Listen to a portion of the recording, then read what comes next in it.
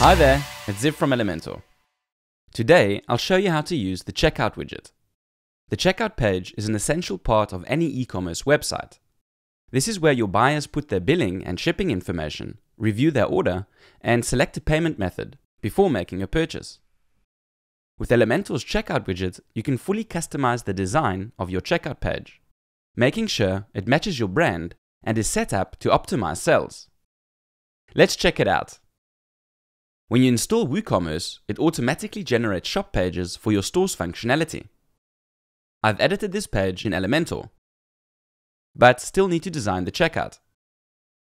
By default, it will look something like this, because it's set to display it with shortcode. That's where Elementor's checkout widget comes into play. It enables you to customize this page however you like. First off, you can set the general layout by choosing to display everything either in one or in two columns. You can also make sure this column is set to be sticky. Set an offset to make sure the header doesn't overlap with it while scrolling. Next is the billing and shipping details. You will see them together if you've set the shipping to be the same as the customer's billing address in your shipping options WooCommerce settings.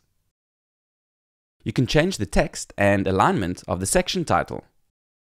And under form items, you can add specific label and placeholder texts for each field.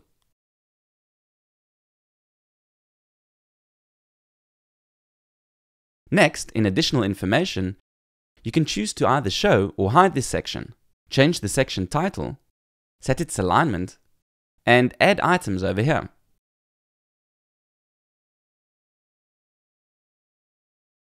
In your order, you can set the section title and alignment. And for the coupon, you can add your own text to help make it more personal. Let's check out payment before going over the styling options. In order to see the terms and conditions message, you need to set a terms and conditions page in your WooCommerce settings. To do this, click the hamburger menu and in site settings, go to WooCommerce. Then search for and select the right page for your site's terms and conditions.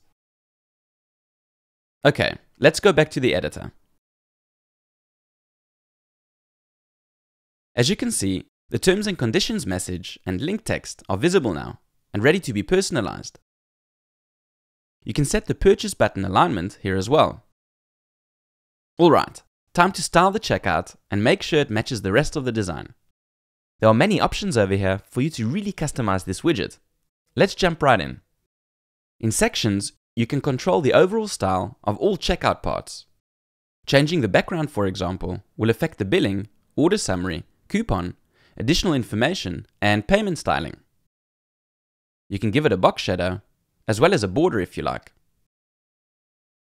I'll set it to none for this design. Next, in typography, you can set the title's color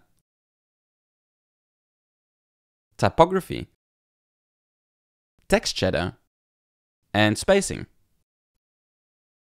Same goes for the secondary titles. Descriptions affect the shipping and returning customer descriptions if you set that up in your WooCommerce settings. Next, let's style the messages, checkboxes, radio buttons, and links. In Forms, you can adjust the columns and rows gap.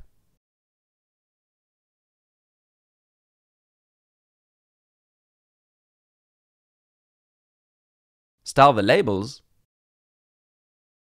as well as the fields.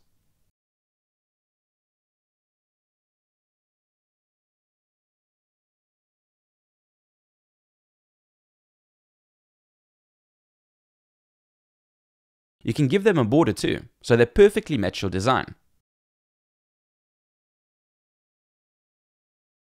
Next, let's style the coupon button.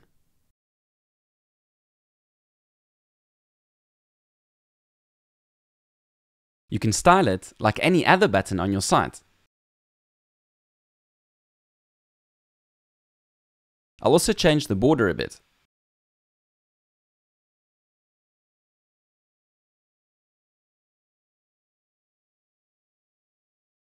Much better. For the order summary, you can control the rows gap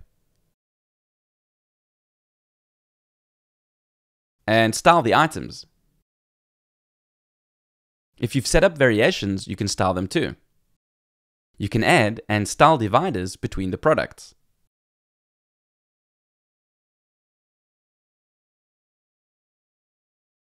Style the titles and totals, and add a divider total, if you decide you want it.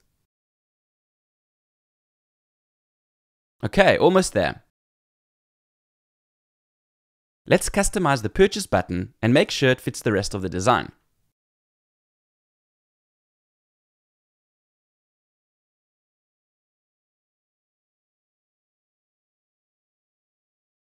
Great. Last but not least, we'll check out the Customize option. So far, we managed to style quite a lot of this widget. But if you want more granular control over the different parts of your checkout page, you can add them over here. Each one will get a dedicated drop-down with settings for you to customize further. And if you don't need it anymore, you can simply remove it.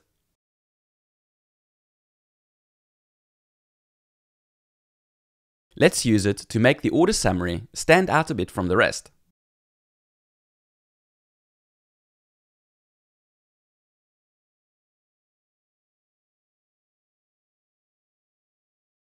Cool.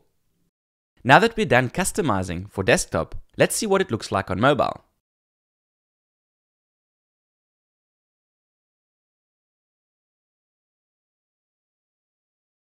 Looks quite good already. Just like any other widget, settings with device icons can be tweaked for various screen sizes. I'll go ahead and adjust the margin a bit, so the order summary fits better. Perfect. One last thing. Let's check out the WooCommerce settings in Site Settings. Here, you can set your shop pages right from the editor. Simply search for the pages you want your visitors to be sent to.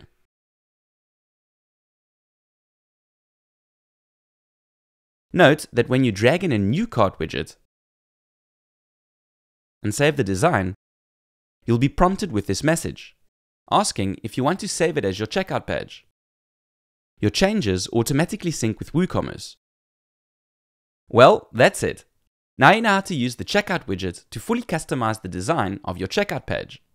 Go ahead, try it out, and show us your awesome designs in the comments below. As always, have fun creating and don't forget to subscribe to our YouTube channel for more tips and tutorials. Ciao for now!